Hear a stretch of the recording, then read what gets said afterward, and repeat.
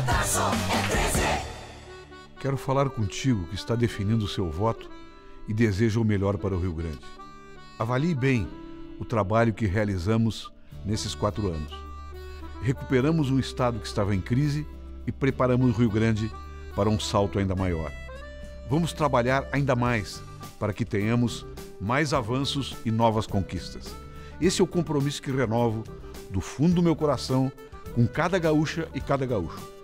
Peço um voto de confiança para continuar construindo, junto com vocês, o Rio Grande que queremos e podemos.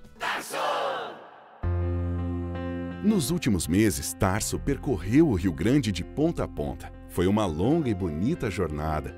Por onde passou, Tarso conversou com os gaúchos, escutou muito, se emocionou, fez novas amizades, falou das conquistas que tivemos até agora, apresentou propostas para o Estado continuar avançando e, principalmente, recebeu o carinho e a confiança de todos. Tarso teve a certeza de que o povo gaúcho está ao seu lado. Por isso, vai seguir governando com as pessoas e para as pessoas, para o Rio Grande continuar no caminho das mudanças. Eu e Tarso trabalhamos juntos como ministros do governo Lula. Tarso Genro é um homem com 40 anos de vida pública. Foi prefeito de Porto Alegre, ministro que implantou o ProUni e há quatro anos vem governando o Rio Grande do Sul. Hoje, ele como governador, eu como presidenta, continuamos trabalhando para construir uma vida mais justa para todos os gaúchos e para todos os brasileiros.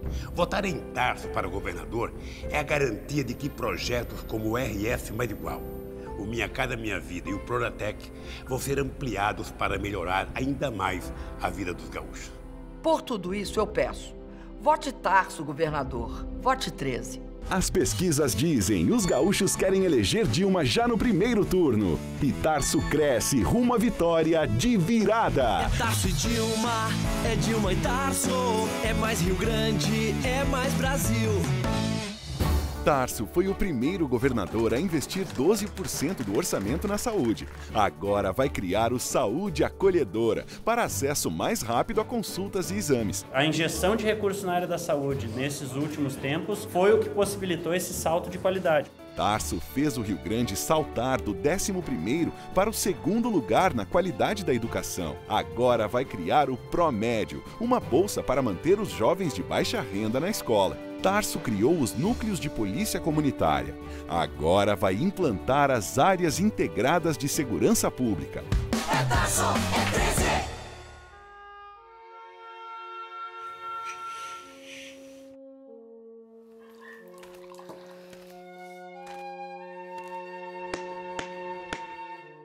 Carta aos Gaúchos.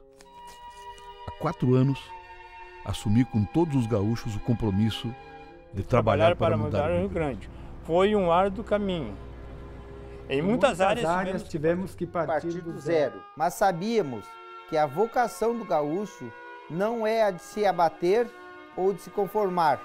A gente não se conforma. Porque cada gaúcha e cada gaúcho é protagonista, protagonista de sua vida e da história coletiva que escrevemos juntos.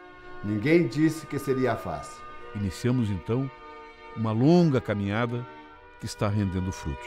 Agora, eu quero renovar o compromisso de trabalhar ainda mais para, para atender cada vez melhor as pessoas. Para que o desenvolvimento que construímos juntos tenha a marca da igualdade. Igualdade. Igualdade. Igualdade. Vamos apoiar os agricultores, os operários para que tenham mais oportunidade de emprego. Vamos valorizar o trabalho dos que cuidam da vida e da saúde das pessoas. Dos professores que promovem a cada dia a construção do amanhã. Dos agentes que protegem a vida dos outros como se fosse a sua própria vida. Os que com sua imaginação preservam a memória e produzem cultura. Vamos amparar os que mais precisam até que possam reorganizar suas vidas e caminhar com as próprias pernas. Por isso, renovamos o compromisso de trabalhar muito para, para colocar, colocar o Rio Grande no lugar que ele merece estar. Sabemos que há muito chão para percorrer.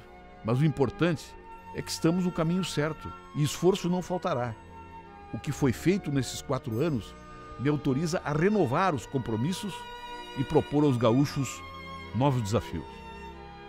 Com a força da nossa capacidade de trabalho, ouvindo a opinião de todos e somando as virtudes de cada gaúcho, e de cada gaúcho.